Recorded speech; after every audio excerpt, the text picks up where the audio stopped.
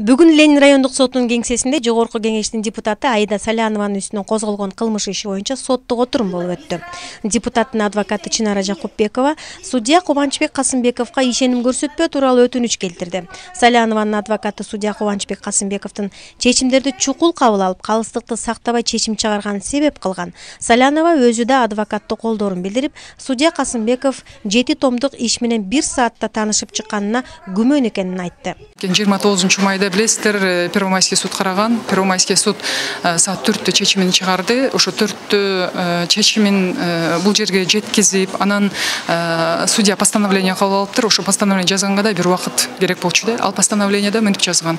Карап чыктым карап ишти карап чыктым иш боюнча кыскартканга же болбосо токтотконго негиз жок деп.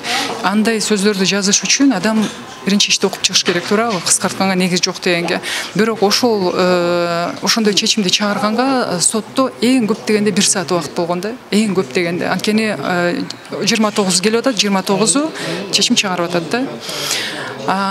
Биз атайын интернеттен маалымат топтодук да кандай кылганда адам бат окуй алат? Анткени балким ошондой бир чоң уникалдуу баягы жөндөмү бар болчу судьянын деп. Окусак эң бат окуду дегенде жана уникальный метод чтенияларды ошондой метод чтениялар мисалы үчүн наполеон бонапартта болгон экен андай метод чтения горькийде болгон экен бальзакта болгон экен. Ошол метод чтениялар менен баягы эсептегенде бат окуду деген эсептегенде эң бат окуду дегенде эки сутка төрт саат керек болмок экен да. Буга чейин соттук отурум бишкек шаарынын биринчи май райондук сотуна жөнөтүлгөн эле.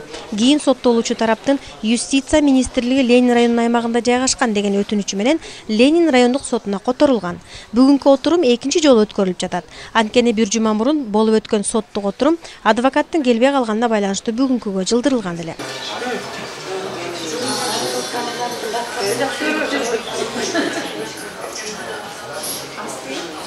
эки миң онунчу жылы аида салянова юстиция министринин милдетин аткарып турганда максим бакиевдин өнөктөшү алексей елисеевдин адвокаттык лицензиясын мыйзамсыз узарткан деп айыпталып иш козголгон.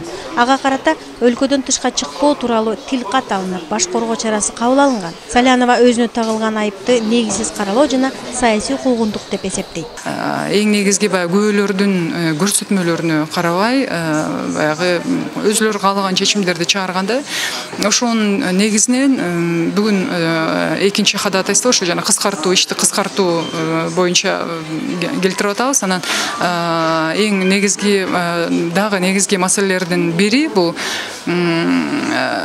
жеке эле баягы саясий максат эмес. Бул иште биздин оюбуз боюнча биз дагы азыр ошонун үстүнөн иштеп атабыз. Бул жерде бир экономикалык дагы бир сүйлөшүүлөр болушу мүмкүн сүйлөшүүлөр. Анткени елисеевке абдан жакшы мүмкүнчүлүк ачып берип атышат. Аны ал азыр биздин маалыматыбыз боюнча эме делодо деле жүрөт. Андай показаниялар ивановдун азыр елисеев оондо даттанып жүрөт. Оондо оондун структураларында жүрөт деп жүрөт да ал өзүнүн баягы саясий куугунтук жөнүндө айтып атат. Деп иванов сдпкнын мүчөсү ушинтип айтып атат да.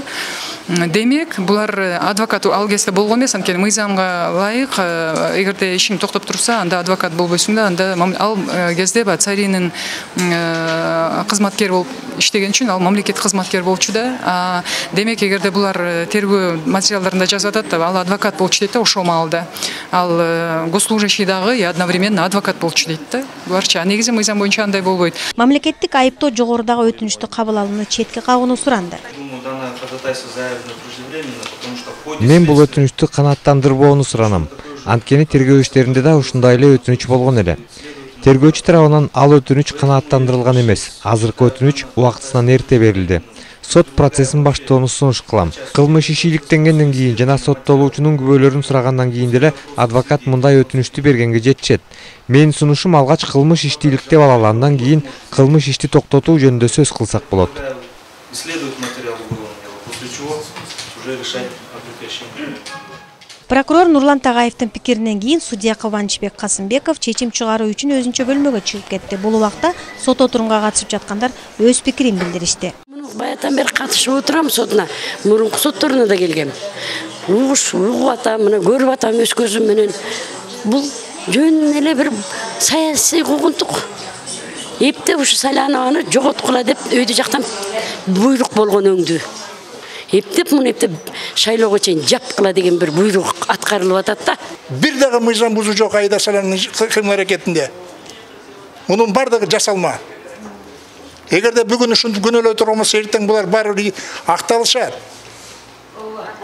баары бир ушу бүгүн ушул нерселерди жасап аткан азыр бийликте отургандар жазасын тартат убакыт келет ошол нерсеге анан минтип элди коркутуп эл үчүн кызмат кылган мыкты азаматтарды минтип куугунтаганын өзү бул уят нерсе бул бир сааттай убакытка кеткен судья кайтып келип өз чечимин окуду жыйынтыгында сот айыпталуучу тараптын өтүнүчүн канааттандыруусуз калтырды мурдагы баш прокурор аида салянованын соту он тогузунчу июнда улана турган болду